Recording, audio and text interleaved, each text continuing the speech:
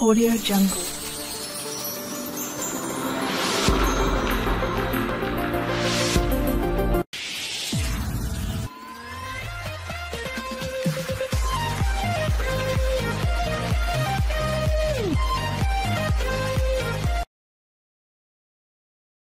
Xin chào bà con, thì clip hôm nay á, mình quay cho bà con xem về cái mô hình mà ghép cải tạo bơ từ bơ thường sang bơ bút á, mà ghép tại nhánh luôn. Thì clip hôm trước á, mình đã quay giai đoạn là ghép, thì clip hôm nay mình quay giai đoạn đó là kiểm tra cách chăm sóc và cái thứ hai nữa là chăm sóc như thế nào cho nó hiệu quả khi chúng ta vừa ghép xong. Thì đây là vườn bơ vừa ghép xong trong 20 ngày của chú Lập ở thành phố Buôn Ma Thuột. Thì những cái bơ này ghép lên sau 20 ngày nó đã lên chồi rồi. Thì cái việc mà lên chồi này á mình cũng khuyên bà con á chúng ta phải cẩn thận. Thứ nhất á, chúng ta phải dùng cây ta nẹp hết. Và thứ hai chúng ta phải phun thuốc sâu định kỳ. Và bóng lá vì những cái bơ ở đọt non này á thì nó rất là nhạy cảm. Thứ nhất á, là bọ xích bọ vừng nữa. Nó hay chích những cái đọt non của cái bơ này. Nên nó dễ bị hiện trạng mà thui đầu. Thì thui đọt như thế này á, thì cái bơ của chúng ta nó sẽ không đâm chồi được không để lọc được. Thì đó là cái vấn đề mình nói đầu tiên cho bà con để bà con chúng ta có được cái phương pháp chăm sóc. Và cái thứ hai nữa là chúng ta phải cột hết nẹp hết lại nha. Vì nếu mà khi chúng ta ghép ra này rồi chúng ta không nẹp không cột lại á thì nó sẽ gió lay hay là sẽ gãy hết. Thì cái đó là cái điều chắc chắn mình khẳng định luôn. Mà sau khi mà bà con chúng ta nẹp thì khoảng thời gian 1 đến 2 tháng á cây nó chắc cái liền da đó thì mình khẳng định là cây nó sẽ không bị tước nữa. Và sau này rất cứng và khỏe. Và cái sản lượng mà nó có trái ra hoa đậu trái á, rất là nhanh có thể là một năm sau là chúng ta có thể có trái bói rồi. Do đó mình chia sẻ với bà con. Thì clip này mình quay cũng rất là dài để cho con xem đi quay từng góc. Thì hôm trước mình quay rồi. Hôm trước là quay ghép, thì hôm nay 20 ngày sau á, thì mình quay kiểm tra ngọn nứt. Thì bên trái cây mùa lắc luôn luôn, cập nhật những video về cây bơ. Thực tế, hàng ngày bà con xem. Có nghĩa là cây bơ đó làm như thế nào rồi? Trong thời gian 1 đến 2 tháng, mình sẽ quay lại cái vườn đó cho bà con xem, để bà con thấy được cái hiệu quả của những cái vườn mà trái cây theo mùa lắc hướng dẫn cho bà con làm.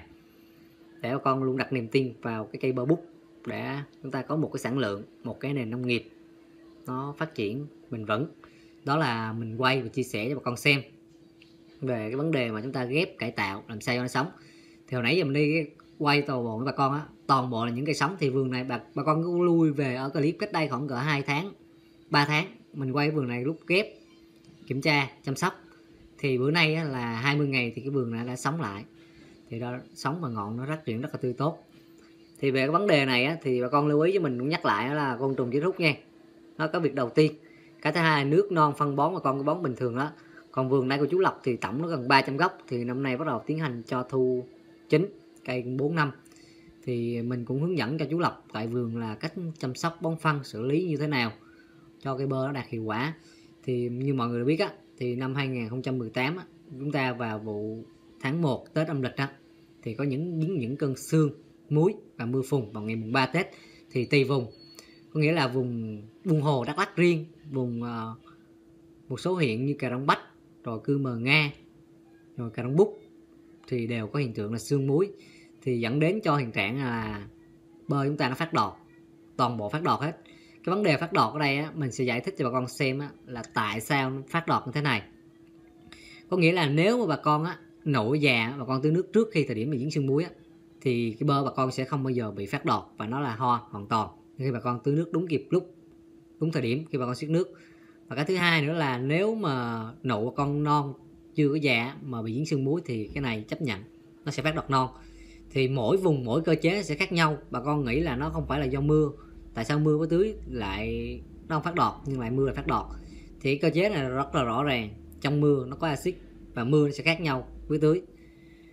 Thì lúc này nụ chúng ta mà nó đang cần háo nước mà có lượng mưa axit cho xương muối xuống á, thì nó sẽ phát đọt.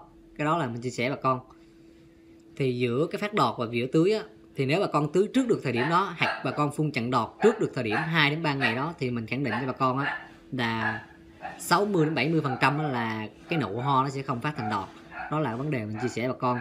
Để bà con rút kinh nghiệm sau này, những năm sau, bà con có kinh nghiệm để mà siết nước và siết như thế nào cho hiệu quả thì mình cũng khuyên bà con á bà con siết nước đúng thời điểm và tưới nước đúng thời điểm thì cái bơ chúng ta nở ho rất là đều. Với bà con phun hãm ngọn thì nở rất là đều. Thì còn vấn đề mà cái phát đọt non không này á, thì nó rất liên quan rất nhiều cơ chế. Đối với những vườn á, mà lá xanh không rụng lá non á, như vườn mình đang quay của chú Lộc này á, thì tỷ lệ đậu trái rất là cao bởi bà con phun thuốc được có hai mặt lá thì hấp thụ rất là nhanh. Đó là vấn đề mà nói sơ về cái cái cái đợt vừa rồi thôi.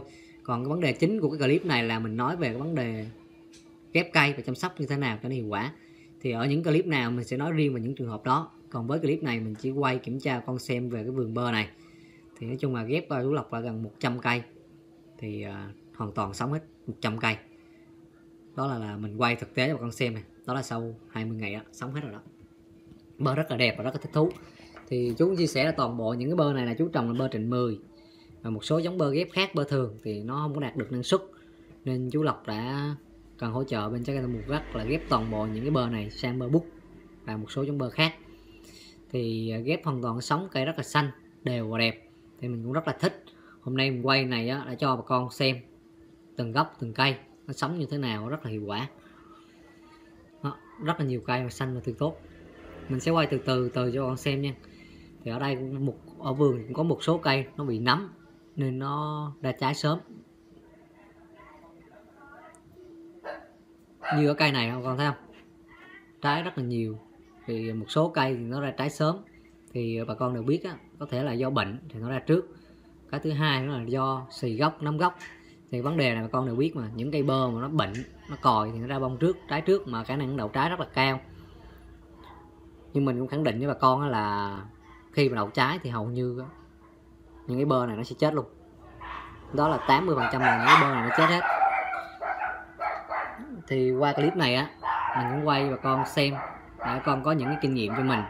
Nếu những vườn nào rơi vào trường hợp mà con mua nhầm giống bà con đừng có vội mà cưa gốc nha, hoặc nhổ bỏ. Cái này mình nhắc nhở rất là nhiều rồi. Nên cái này mình chỉ nói sơ lại để con xem là con tham khảo. Và ai chưa xem hoặc xem clip nào thì bà con qua clip này bà con có thể đưa ra được cái phương hướng cho mình. Đây thì mình cũng hướng dẫn cho bà con xem tại vườn.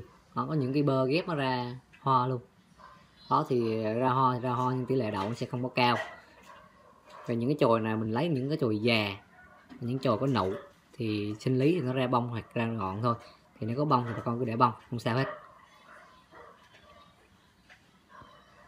Đó, toàn bộ những cái bơ này ghép rất là chuẩn hết sống hết đó bà con để ý nha. Bà con cứ quay lại clip cách đây quay khoảng một hai tháng á thì con xem thì những cái bơ này nó chưa có được phát triển tươi tốt nhưng mà sau thời gian nó phát triển rất là tốt và con vẫn nhớ cho mình nha sau khi bơ ghép xong mà con vẫn tưới nước giữ ẩm bình thường.